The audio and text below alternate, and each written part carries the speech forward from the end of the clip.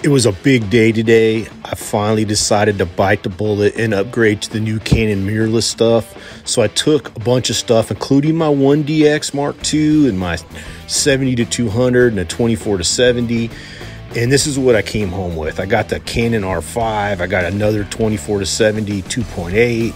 I got the 100 to 500, which seems really interesting. And this is a much smaller body. And here it is with the 24 to 70. And I'm pretty pumped up out.